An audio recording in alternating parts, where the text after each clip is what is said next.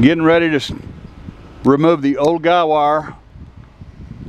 We've got the temporary wire pulled to tension. We got the old wire slacked in.